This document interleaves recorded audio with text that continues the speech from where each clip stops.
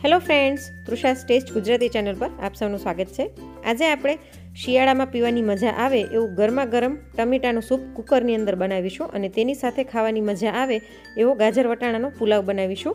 પણ આજની આ રેસીપી શરૂ કરીએ તે પહેલાં જો તમે મારી ચેનલ પર નવા હો, તો પ્લીઝ મારી ચેનલને સબસ્ક્રાઈબ કરી નાખો. સબસ્ક્રાઈબ કરવું બિલકુલ ફ્રી છે અને દરેક નવા વિડીયોના નોટિફિકેશન માટે બાજુમાં આપેલ બે લાઇકનને ઓલ પર કરી નાખજો.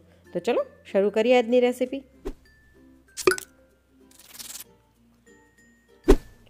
અહીં મેં આશરે અડધો કિલો જેટલા ટમેટાં લીધેલા છે, જેને મેં ધોઈને લૂછી લીધા છે. હવે આપણે આને ટુકડામાં સુધારી લઈશું.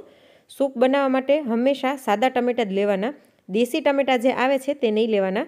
દેશી ટમેટામાં ખટાશનું પ્રમાણ વધારે હોય છે, તેથી તેમાં ગોળ કે ખાંડ વધુ ઉમેરવા પડે, જેથી ટમેટાનો ટેસ્ટ દબાઈ જાય છે.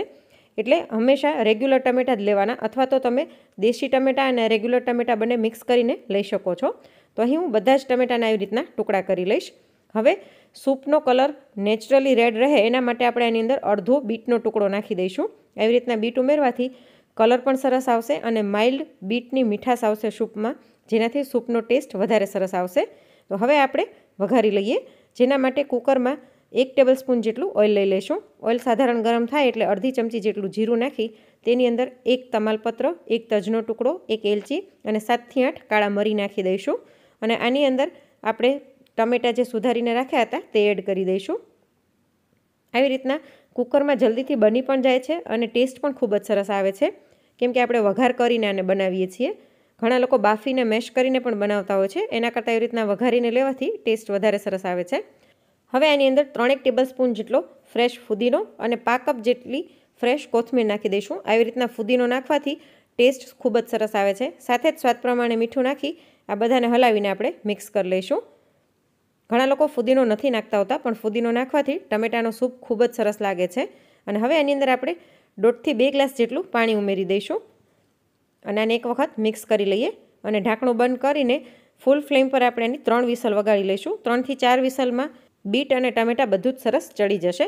તો જ્યાં સુધી આ થાય છે, ત્યાં સુધી આપણે ફટાફટ પુલાવ બનાવી લઈએ. જેના માટે એક પેનમાં બે ટેબલ સ્પૂન જેટલું ઘી લઈ લઈશું. ઘીમાં વઘારવાથી ટેસ્ટ ખૂબ જ સરસ આવે છે, એટલે તમે ઘીમાં જ વઘારજો. હવે આની અંદર આપણે અડધી ચમચી જેટલું જીરું નાખી દઈશું.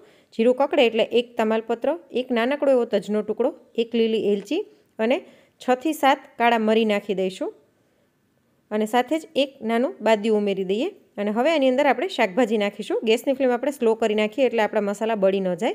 અહીં મેં ગાજર, વટાણા અને બટેટા લીધેલા છે. બધું જ આશરે મેં અડધા કપ જેટલું લીધેલું છે.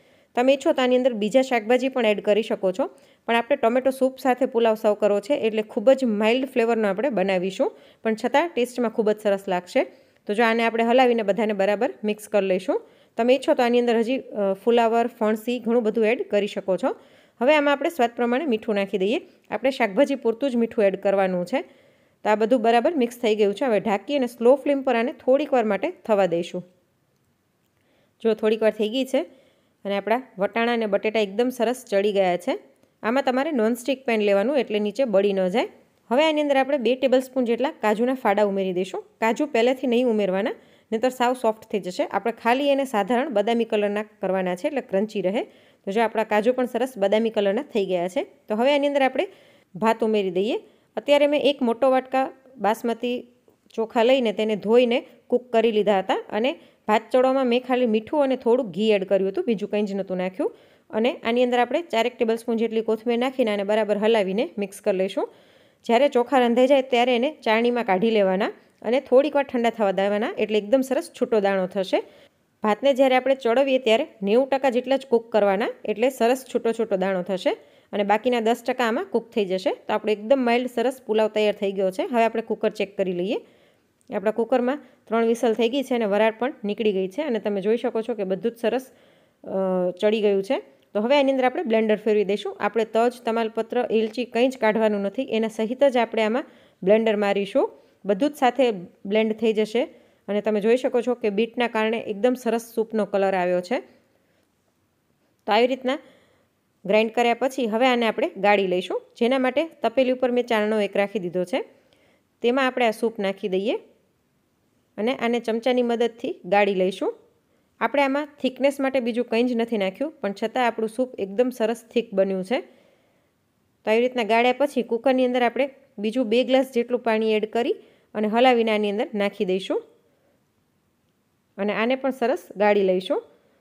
આવી રીતના કરવાથી તમારો સૂપનો ટેસ્ટ ખૂબ જ સરસ આવશે. કેમ કે આમાં બધા જ ખડા મસાલા, ફુદીનો, કોથમીર બધું છે એટલે સૂપનો ટેસ્ટ ખૂબ જ સરસ આવશે. જો આપણું સૂપ સરસ ગળાઈ ગયું છે અને તમને એની કન્સિસ્ટન્સી બતાવી દઉં કે આપણે કંઈ જ આમાં બીજું એડ નથી કર્યું, છતાં કેટલું ઘાટું સૂપ બન્યું છે. તો હવે આપણે આને ગેસ ઉપર મૂકી દઈએ. ગેસ ઉપર મૂક્યા પછી એની અંદર આપણે ત્રણેક ટેબલ સ્પૂન જેટલો ગોળ ઉમેરી દઈશું. તમે ઈચ્છો તો ખાંડ પણ એડ કરી શકો છો. અને સાથે જ અડધી ચમચી જેટલી કાળા મરીનો ભૂકો અને અડધી ચમચી જેટલું લાલ મરચું પાવડર નાખી દઈશું અને આને બરાબર હલાવીને મિક્સ કરી લઈશું.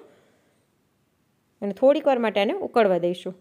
તો જો થોડીક વાર થઈ ગઈ છે અને એકદમ પરફેક્ટ કન્સિસ્ટન્સીમાં અને એકદમ પરફેક્ટ કલરમાં આપણો ટમેટાનો સૂપ બનીને તૈયાર થઈ ગયું છે.